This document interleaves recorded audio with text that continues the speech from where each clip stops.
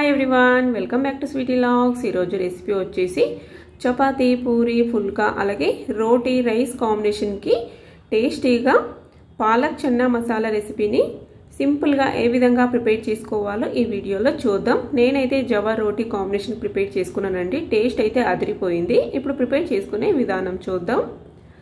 ముందుగా ఒక కట్ట పాలకూరని నీట్గా వాష్ చేసుకొని ఈ విధంగా సన్నగా కట్ చేసుకోవాలి. దీన్ని ఒక త్రీ మినిట్స్ అలాగా ఒక టీ స్పూన్ ఆయిల్ యాడ్ చేసుకొని ఈ విధంగా ఫ్రై చేసుకోవాలండి. ఈ విధంగా ఫ్రై చేసుకోవడం వల్ల పచ్చి వాసన పోతుంది. ఇప్పుడు దీంట్లోకి కొద్దిగా అల్లం ముక్క అలాగే ఒక ఐదు వెల్లుల్లిపాయ రేఖలు హాఫ్ టీ స్పూను జీలకర్ర రెండు పచ్చిమిర్చిలు ఒక మిక్సీ జార్లో వేసుకొని ఫైన్గా పేస్ట్ చేసుకొని ఇప్పుడు అందుట్లోనే ఆనియన్ ముక్కలు కూడా హాఫ్ ఆనియన్ ముక్కల్ని వేసుకొని ఈ విధంగా పేస్ట్ చేసుకొని ఒక పౌల్లో తీసుకొని పక్కన పెట్టేసుకుందాం.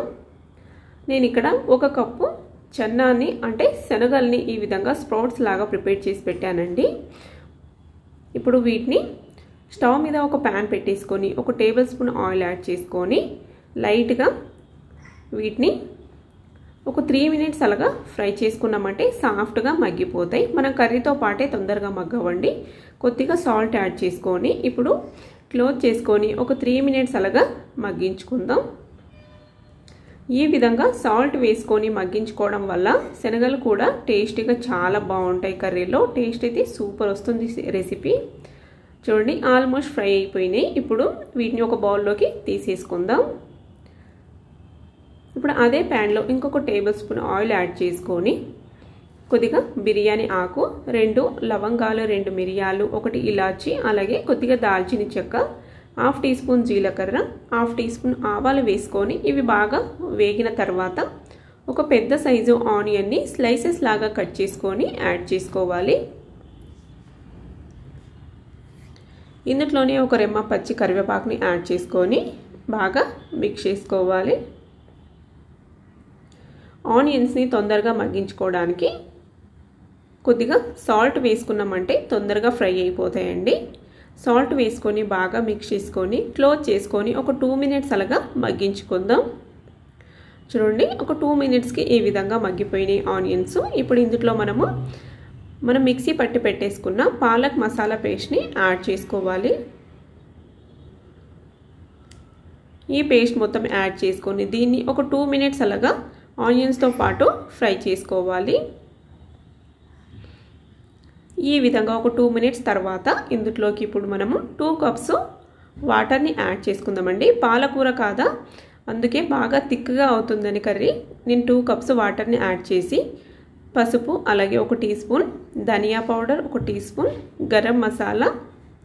మీరు కావాలంటే రెడ్ చిల్లీ పౌడర్ కూడా యాడ్ చేసుకోవచ్చండి.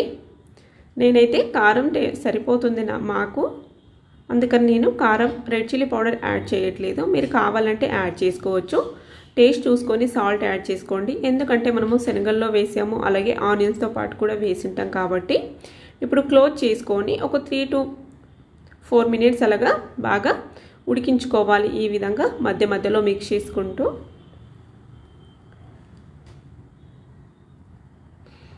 ఈ విధంగా బాగా ఉడికించుకుంటే కర్రీ సూపర్ వస్తుందండి. ఇప్పుడు ఇందులోకి మనము ఫ్రై చేసి పెట్టేసుకున్న ఈ చెన్న స్ప్రౌట్స్ని యాడ్ చేసుకోవాలి.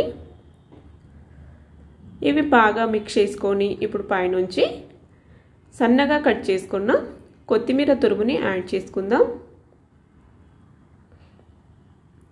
కొద్దిగా యాడ్ చేసి కొద్దిగా తర్వాత యాడ్ చేసుకోవడానికి ఉంచేసానండి. క్లోజ్ చేసుకొని ఒక త్రీ మినిట్స్ అలాగా ఉడికించుకుంటే సరిపోతుందండి. చూడండి పైకి ఆయిల్ వచ్చేస్తూ ఉంది. ఆల్మోస్ట్ ప్రిపేర్ అయిపోయినట్టే రెసిపీ. టేస్ట్ అయితే సూపర్ ఉంటుందండి. మనం పాలకూరతో కాంబినేషన్గా ఈ చెన్న కాంబినేషన్ చేసామంటే టేస్ట్ అయితే అదిరిపోతుంది. రోటీ చపాతీ ఫుల్కా అలాగే రైస్ కాంబినేషన్కి పూరీ కాంబినేషన్ కూడా చాలా బాగుంటుందండి. నచ్చినట్లయితే మీరు కూడా ట్రై చేసి కమెంట్ సెక్షన్లో షేర్ చేసుకోండి. అలాగే తప్పకుండా ఒక లైక్ చేయండి. ఇలాంటి హెల్దీ రెసిపీస్ కోసం మా ఛానల్ని సబ్స్క్రైబ్ చేసుకోండి. అలాగే పక్కనున్న గంట సింబాల్ని ప్రెస్ చేయండి. మేము కొత్తగా అప్లోడ్ చేసే వీడియోస్ని మీరు ముందుగా చూడొచ్చు. Thank for watching